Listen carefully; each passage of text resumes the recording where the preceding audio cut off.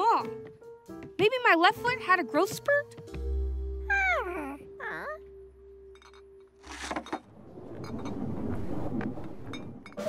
I thought I heard a bowling ball on the snack stand. Maybe it was just thunder. Oh! I found a popcorn! Something was still wrong with the shoes. Huh? Lucy and Charlie's shoes were all size 10s. Both Janice's shoes were size 6s. And Bill's shoes were both 9s. So why did they fit differently? The 9s were written in different colors. Why did Mr. Berg's shoe numbers come in so many different colors? Hey, George hadn't noticed these colored signs before. There was a blue man, a red lady, and green children. They were the same colors as the shoes. Maybe the different colors meant they were different kinds of shoes.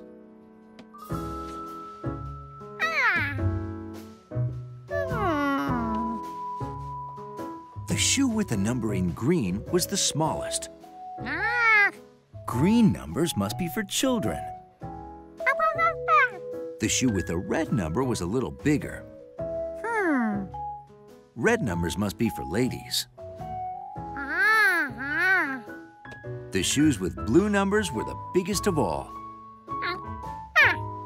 Blue numbers must be for men. When you matched the numbers and the colors, you got two shoes that were the exact same size.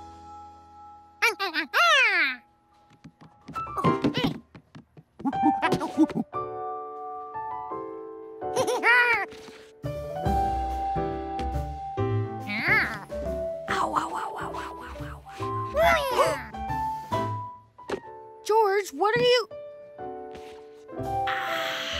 Ah. the different colors mean they're different kinds of shoes. How'd you ever figure that out? You're pretty smart for a city kid.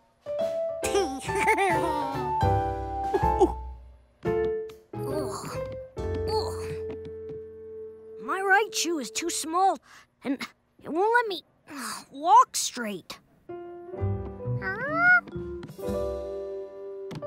Jimmy already has two shoes with the same color number. So what's wrong with his right shoe? Hmm. George couldn't figure out what was wrong. The shoes were exactly alike.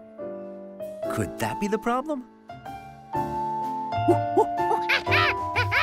Jimmy was wearing two left shoes.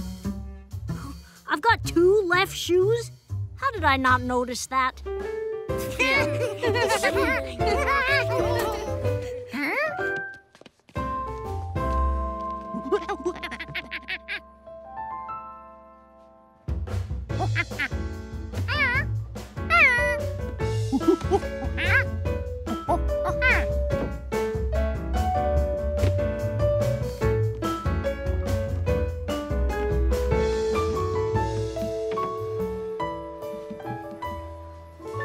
Thanks, George. George had finally sorted the shoes perfectly.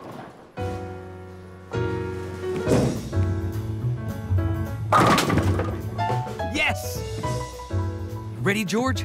Uh-huh. He even found the right size for himself. Ah.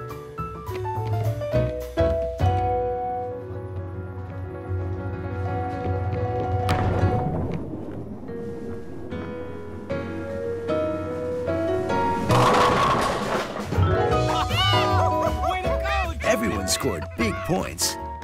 The fundraiser was a huge success. And the Bobolinks got their nesting ground.